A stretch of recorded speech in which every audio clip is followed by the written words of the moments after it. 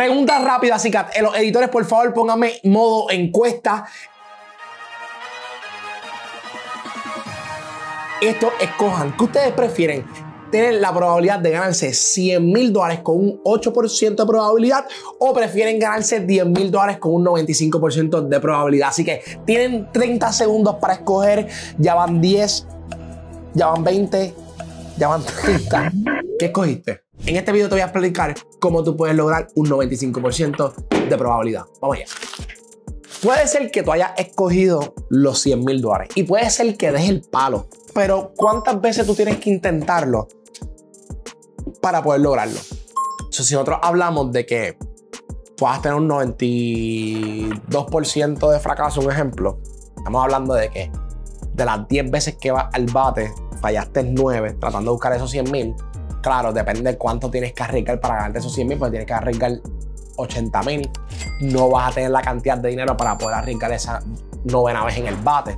Tendrías que tener más de un millón de dólares y realmente ya has consumido bastante, que no necesariamente sea algo viable, algo rentable. Entonces, algo que yo quiero que ustedes puedan entender es que en la bolsa ahora existen diferentes estrategias. Están estrategias de hacer cash flow, de dar buenos palos a través del tape trading y lo hacemos dentro de Infusion Investment a cada rato, pero eso no necesariamente te va a ocurrir de la noche a la mañana, ¿verdad? Eso, no, es, eso puede tomar dos semanas, puede tomar tres semanas, puede tomar semana y media, pero tú quieres algo que también a la misma vez a su par te deje un rendimiento y eso es a través de eh, la venta de prima, lo que es el cash flow. Imagínate tú tener una cuenta de mil dólares, ¿verdad?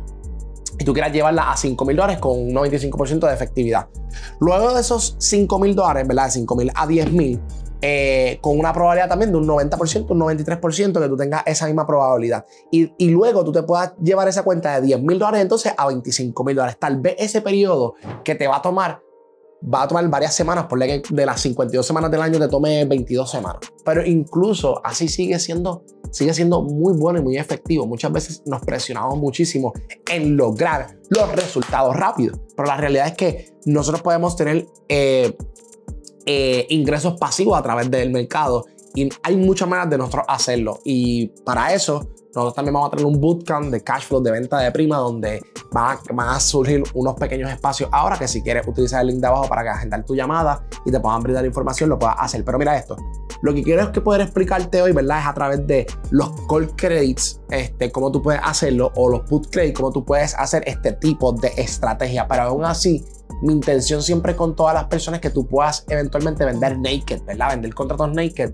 porque la probabilidad de que esos contratos puedan llegar eh, a un valor real, valor intrínseco, es bien bajo. Y eso es lo que vamos a estar hablando en el día de hoy. Así que vamos entonces a movernos al iPad rapidito para explicarles cómo funcionan los call credits y cómo ustedes pueden apalancarse para obtener este rendimiento. Ok, vamos a estar entonces explicándole a ustedes cómo funciona los spread o cómo tú puedes hacer dinero dentro de los mercados financieros. Ok, sabemos que las opciones, ¿verdad? Y lo tenemos claro, tenemos el área de los calls y tenemos el área de los puts. Significa que si el mercado sube, nosotros hacemos dinero. Y si el mercado cae, nosotros hacemos dinero. Pero ¿qué pasa? También está el otro lado de vender, ¿verdad? Yo puedo vender un call y yo puedo vender un put. Ahora, si yo vendo un call o yo vendo un put, yo quiero que pase lo contrario. Yo quiero que el call termine bajando para que para que ese contrato expire en cero. Recuerden que uno siempre a través de un contrato uno va a pagar un premium, ¿verdad? Y ese premium puede ser 7 dólares. Ponle que tú pagaste eso, tú pagaste 7 dólares. Pero si ese contrato llega a cero, you lost 700 dólares, right? So, perdimos 700 dólares. Igual los puts, yo quiero que suba. So, yo pago un premium, ¿verdad? Para que el contrato caiga. Ponle que me costó 3 dólares, pero no terminó pasando.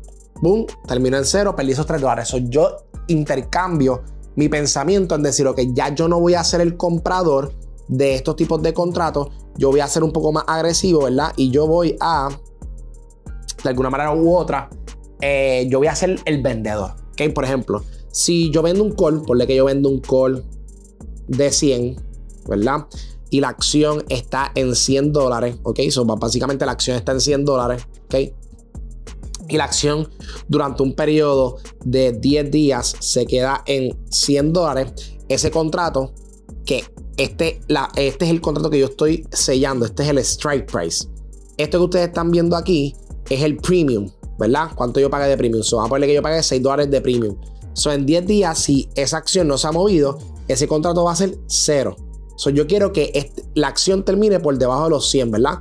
Básicamente esto está atado a un premium de 6 dólares y si esa acción no termina por encima de, 6 eh, de 100, básicamente ese contrato expira en cero, yo recolecto todo ese dinero, ¿verdad? Y ahí me puedo buscar 600 dólares en profit, ¿ok? Porque donde yo hago dinero es cuando el contrato se devalúa por completo. ¿Qué pasa? Muchas personas no tienen el dinero o no tienen la habilidad de vender naked. Y obviamente eso lo vamos a estar explicando también en nuestro bootcamp de cash flow, de cómo tú puedes transicionar de vertical spread a naked, ¿ok? So yo vengo, si yo vendo un call. Vamos a poner este caso, yo vendo un call, so I sell a call, ¿ok?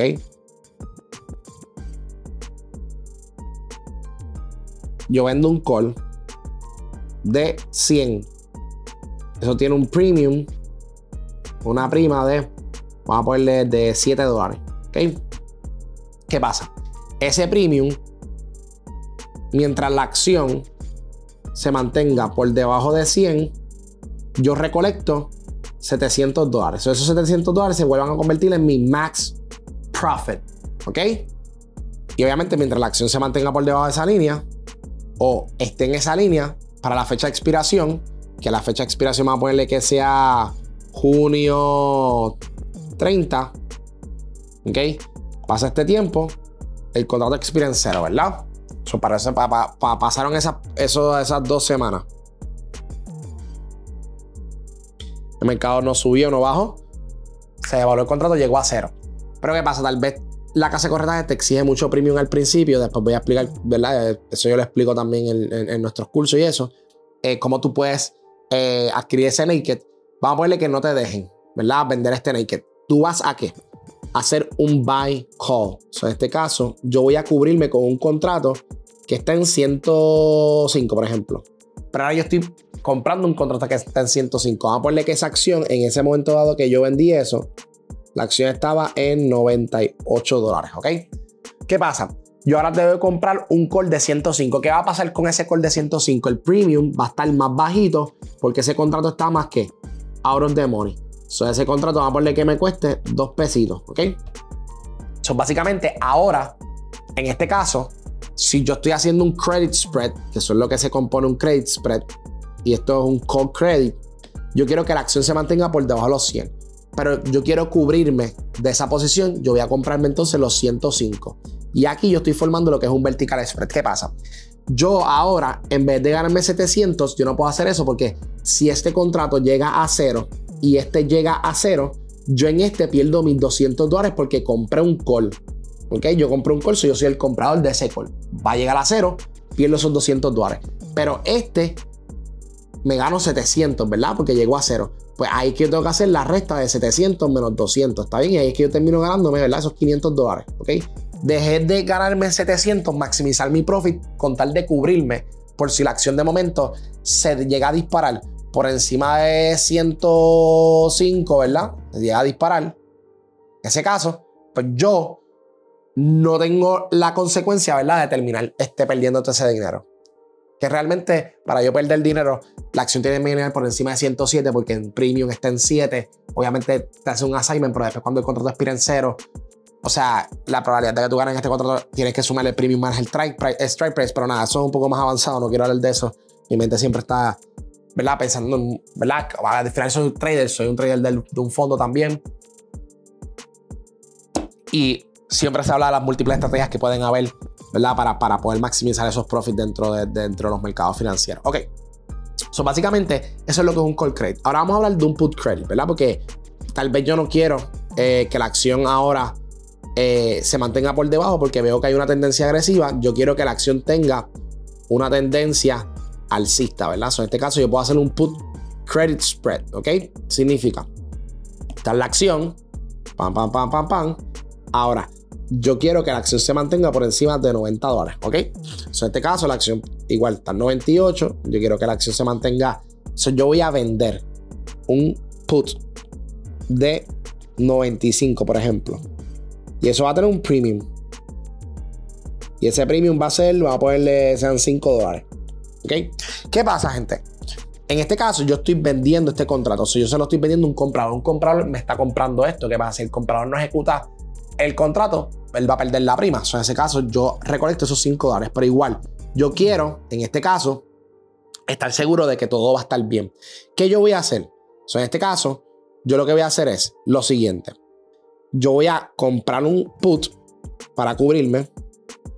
Como este contrato está un poquito, no más, no está in the money, pero no está tan out of the money como este otro contrato, este contrato que está en 90 me va a salir más barato. Se va a ponerle que esto tenga un dólar de premium, ¿verdad? Aquí yo pierdo 100 dólares y aquí yo gano 500 dólares, ¿verdad? So, aquí yo pierdo 100 y aquí yo gano los 500. So, básicamente yo termine ganándome 400 dólares. Yo quiero que la acción, ¿verdad? Termine por encima de un punto. So, yo siempre voy a vender la pierna más alta y voy a comprar la pierna más barata, ¿verdad? Esto es cuando se hace eh, credit spread. ¿Qué es lo bueno de los credit spread? Que tú puedes hacer esto tanto diario, mensual, cada tres días, un ejemplo. Eh, eh, cada tres meses, por ejemplo, tú puedes ver cuál es la tendencia de muchas acciones y puedes vender prima, ¿verdad? Contarle que esos contratos expiren en cero y tú puedes recolectar ese dinero. De eso se trata muchas veces nosotros maximizar los mercados financieros utilizando estos tipos de estrategias y eso es lo que nosotros queremos hacer. Y eso es lo que yo busco porque no todo el tiempo tú quieres adivinar, no adivinar, tú no quieres tradear la tendencia, tú quieres tradear el precio en la cual ese producto financiero no va a llegar por más que quieras y tú te puedes apalancar de empezar a vender esos contratos que mayormente es lo que hacen los market makers y usualmente te dicen en la casa de corretado que tienes que aplicar este nivel porque este nivel es mucho más complicado porque requiere más intelecto tuyo o conocimiento de las opciones, lo cual es real, pero es para que ellos se mantengan haciendo profit de la gente que se pasa comprando contratos que el 90% de esos contratos que están tradeando es tradeando el tiempo y no están tradeando realmente el movimiento. Por ejemplo, yo veo gente que me ¿verdad? Me da, me da risa el, el, porque la gente pierde. La gente con una opción, la acción está en 100. Te compra un strike price de 130. Tienen un delta de 0.01, ¿verdad? Eh, y la gente dice, pero ¿por qué yo no gano dinero? Claro, porque tú estás comprando un contrato que el 90% de ese contrato, el 99% de ese contrato es tiempo, ¿verdad? Tú estás comprando el tiempo, tú estás sellando ese precio, esperando que pase algo. Pero tú lo que tienes de movimiento es un solo 1%. So, por más que la acción suba o baje, tú no vas a ver ningún tipo de rendimiento monetario. Tú estás pagando el tiempo esperando si llega a 30 y dar un palo. Pero tú no estás pagando movimiento, estás pagando tiempo. Y al tú pagar tiempo tiene otras consecuencias y esas personas te lo venden a ti. Y son las casas de corretaje y los fondos. Y por eso muchas veces yo digo, tú quieres aprender a hacer dinero constantemente en los mercados financieros, puedes utilizar la venta de opciones a tu favor y poder maximizar el mercado y poder hacer mucho más dinero de lo que tú puedes hacer ahora mismo y lo puedes hacer constantemente y de manera predecible. Si tú quieres saber un poquito más, y esto es bien serio, te invito a nuestro bootcamp de cash flow. Eh, vamos a estar hablando sobre los spreads, vamos a estar hablando sobre naked options, vamos a estar hablando sobre spread de futuro y vamos a estar hablando sobre naked de futuro. Cómo tú puedes apalancarte y hacer 100, 200, 300, 500 dólares escalonadamente a través de la venta de prima vamos a utilizar muchas estrategias y lo mejor de todo esto es que nosotros vamos a estar haciendo ejecuciones en vivo para que ustedes nos puedan estar viendo nosotros cómo nosotros lo hacemos y cómo yo tengo un 90% de efectividad en todas estas transacciones. Es bien importante que si te quieres inscribir te voy a dejar el enlace para que puedas ver más información de eso. En verdad, el precio es súper accesible a comparación cómo cuestan ¿verdad? nuestros programas debido a la intensidad y la información que nosotros brindamos. Imagínate todo lo que nosotros brindamos en YouTube, imagínate todo lo que nosotros brindamos a través de nuestro canal eh, de, de, contenido premium, ¿verdad? Así que lo puedes adquirir. Usualmente no necesariamente me encanta estar, ¿verdad? Haciendo este tipo de, de, de approach, pero la realidad es que es de gran utilidad, fuera relajo.